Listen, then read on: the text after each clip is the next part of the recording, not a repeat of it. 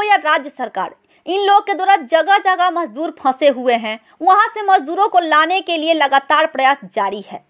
दूसरी ओर लॉकडाउन के कारण सूबे के लगभग 150 मजदूर कर्नाटक की राजधानी बेंगलोर में फंसे हैं। इन मजदूरों में बेगूसराय के दर्जनों मजदूर शामिल हैं। इन मजदूरों ने वीडियो जारी कर नीतीश कुमार की सरकार से वापस लाने की गुहार लगाई है। बेंगलोर शहर के तिलक नगर किस्नप्पा गार्डन में ये लोग मकान बनाने व टाइल्स लगाने का काम करते हैं। इन लोगों ने वीडियो जारी कर कहा कि घर वापस आना चाहते हैं, लेकिन वहाँ का प्रशासन इन्हें वापस नहीं आने दे रहे हैं। जारी वीडियो में कहा कि उन लोगों ने वापस आने के लिए स्थानीय स्तर पर रजिस्ट्रेशन कराया, लेकिन स्थानीय पुलिस ने आकर इन्हें वापस नहीं जाने की धमकी दी। पीड़ित मजदूरों का कहना है कि लॉकडाउन से दो तीन महीने पहले ये लोग बेंगलुरु आए थे। हम सबको, पर हम स्टेशन गए, वहाँ से दो दिन कंप्लेन करे, नाम नंबर भी लिख के दिए, कोई रिप्लाई नहीं दिया उधर से। कल पाँच तारीख को यहाँ शाम को छः बजे पुलिस आया।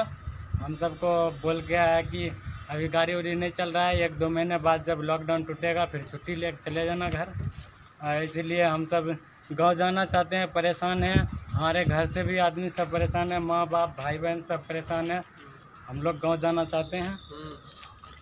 पर इस कंपाउंड के अंदर हम करीब साठ सत्तर बिहार के हैं।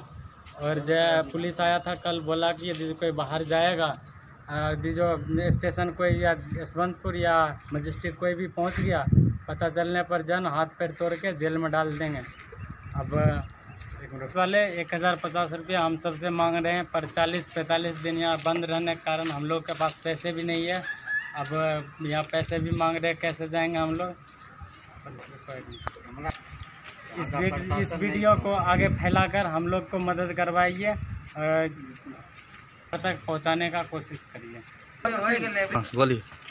देखिए हम लोग यहाँ बेंगलोर में जो फंसे हुए हैं एक रूम में कम से कम बीस आदमी पच्चीस आदमी एक एक रूम में रह रहे हैं और हम लोगों को खाना सही से नहीं मिल रहा है। भूख एक टाइम खाते हैं दो टाइम भूखे रहते हैं। घर में सब परेशान है माँ बाप सब परेशान है। हम लोग कोरोना बीमारी से क्या हम लोग भूख से मर जाएँगे? हम लोग भूख से मर जाएँगे। नीतीश सरकार से हम लोगों का अपील है कि हम लोगों को हम लोग बिहारी का इज़्ज़त कहीं अब नहीं हो रहा है। सब लात मार मार के बोलता है कि भागो निकलो यहाँ से। आप बोलते हैं कि नहीं जो जहाँ है वहीं रहिए। तो कैसे रहेंगे हम लोग? भूखे रहेंगे। भूखे रह के हमारा पेट बढ़ेगा कुछ हो ना हो तो पेट में खाना जाएगा तब तो रहेंगे। पहली बात तो यहाँ रहने नहीं देता है। बोलता सब अपने अपने घर जाओ। हम लोग कहाँ जाएँगे अभी? कैसे खाएँगे? क्या करेंगे? पुलिस स्टेशन गए दो बार। अप्लीकेशन दिए। पुलिस पुलिस बोलता है नहीं अभी कोई गाड़ी उड़ी नहीं है। गेट से बाहर निकला इधर उधर तो पैर हाथ तोड़ के जेल में डाल देंगे। तो आप लोग कितने इसके अंदर हैं? हम लोग कम से कम 200 से ऊपर हैं पूरा मिला के। अभी एक रूम में कम से कम बीस आदमी पच्चीस आदमी। उड़ीसा का भी है और पूर्णिया जिला का भी है अररिया जिला का भी है हर जगह का आदमी है। तो अब आप लोग सभी जाने के लिए तैयार है हम बिहार लोग जाने के लिए तैयार हैं। पुलिस वाले बोलते हैं नहीं बाहर निकलोगे तो पैर हाथ तोड़ देंगे। अभी नहीं जाओ काम भी नहीं चल रहा है हम लोग बैठे क्या करेंगे?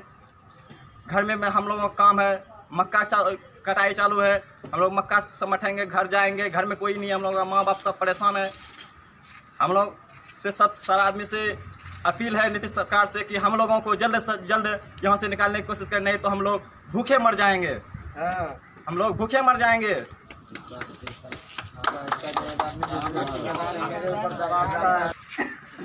अगर हम लोगों को कुछ हो गया यहाँ का हम लोग इतना आदमी में अगर कुछ हो गया इसका जिम्मेदार नीतीश सरकार होगा। नीतीश सरकार होगा।